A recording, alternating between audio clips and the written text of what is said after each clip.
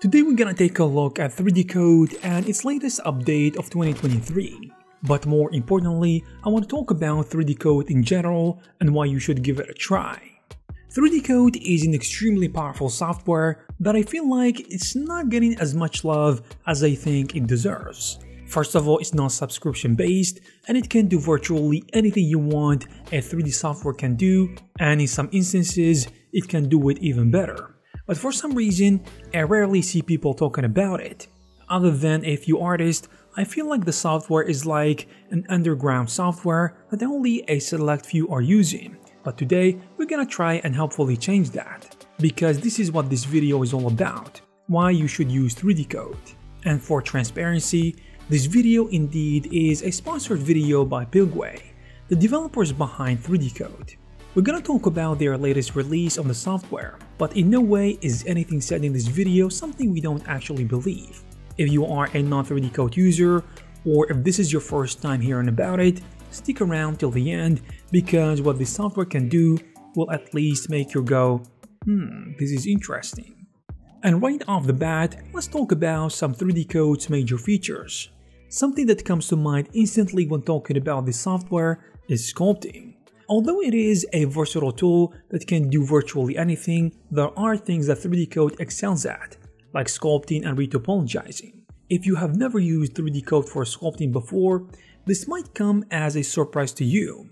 But a lot of professionals prefer using 3D Coat for sculpting instead of ZBrush. That's right, 3D Coat offers a powerful sculpting workflow, in addition to many tools, solutions, brushes, and even a little something called voxel sculpting, and a ton of auto retopology tools that should make any artist's day better. And don't just take my word for it. Many artists who try 3D Coat always echo the same sentiment, and it's always along the line the software is the most pleasant experience I have ever had with any 3D software to date. One user wrote on Reddit questioning, how come this software is so unknown?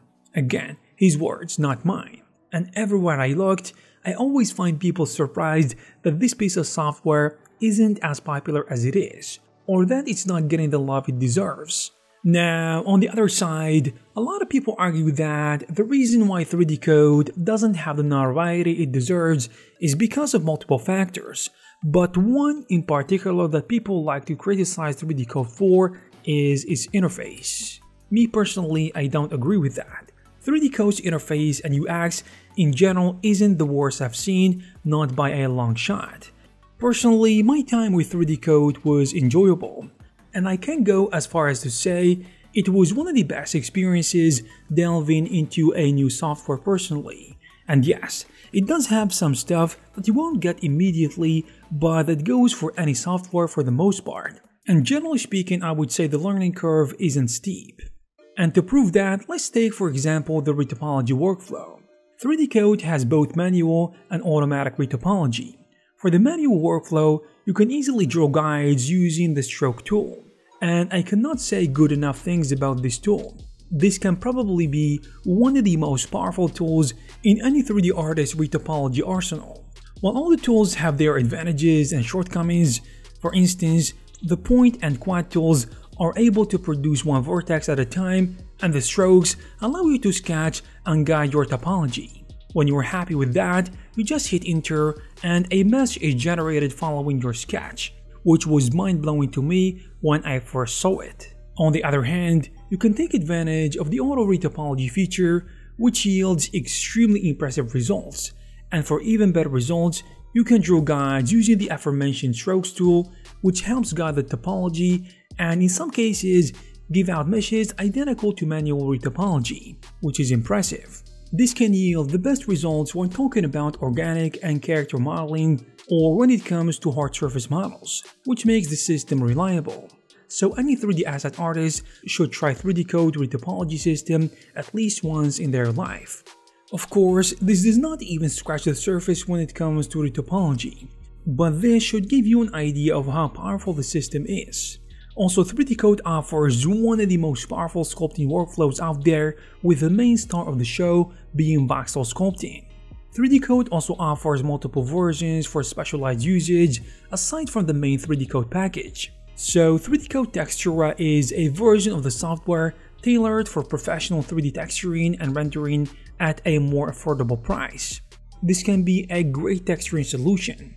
And the new 3D Coat Print, which is a free version of 3D Coat tailored made for 3D printing. And finally, the immense and extensive PBR library, which has a ton of PBR scanning materials and what feels like infinite PBR samples in different resolutions up to 8K, all at your fingertips.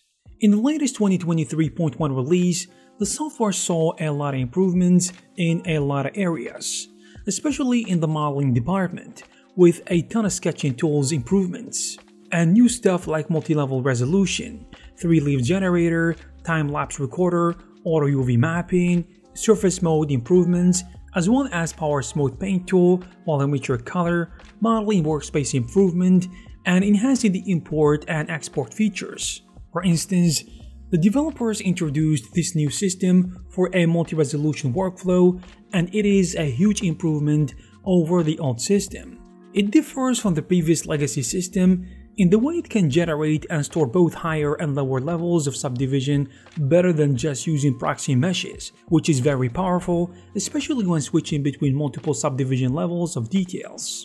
One of the benefits of this approach is that you can jump between the different resolution levels seamlessly, and the different resolutions are essentially applied to the same mesh, so any change in the pose will trickle down or up to the rest of the resolutions.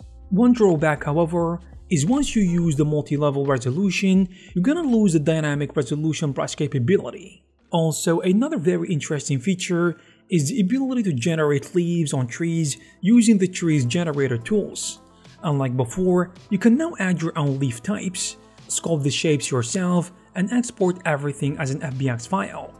Next we have a time-lapse recorder which is exciting now and you can record your sculpting sessions with a smooth camera movement. The recording won't record every second, but it will use different intervals to speed up the process. Talking about speeding up the process, Surface Mode saw a lot of improvements, mainly the subdivision of surface mode meshes, which has been sped up significantly and I quote, 5 times at least, which will allow you to subdivide the models to even 200 million with a capital M. Furthermore, there is a huge enhancement for the auto UV mapping. Even objects from the same sculpt can be unwrapped separately on their own. And the quality of the mapping itself is improved as well, which will result in less island creation, in addition to much shorter seams and better packing overall. And with the latest update, now 3D Coat supports VDM, which stands for Vector Displacement Maps. You can think of these as a 3D Alpha but cooler. You can now create VDM automatically in 3D Coat on the fly with the help of the pick and paste instrument. So you can sample any geometry and save it as a VDM and reuse it on any model you want. In addition to a ton of other improvements like async to mapping, improved UVs, better snapping in the viewport, improved hotkeys engine, UI and render improvements, and a long list of retopology improvements in addition to other stuff which you can read all about and try 3D Coat for free by clicking the link under the like button. I hope you guys found this video useful and informative. If you did, please give it a thumbs up. Also, you can check some of our previous videos. Thank you very much for watching and I will see you in the next one.